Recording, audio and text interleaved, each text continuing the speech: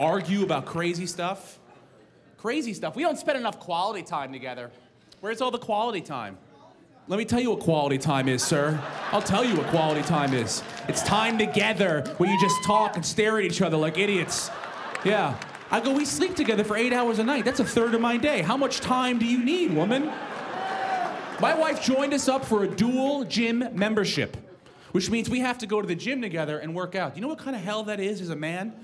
The other day, I'm at the gym, I'm on the treadmill, I'm walking straight ahead, I'm not bothering anyone. Got my iPod on, it's just me time. She gets on the treadmill next to me, she starts walking. Fine, there she is. About two minutes in, I just feel her reaching for my hand. She's reaching for, I go, what the fuck? She goes, I just want to hold hands. I'm like, on a fucking treadmill? Are you serious? I'm on peaks and valleys right now, babe.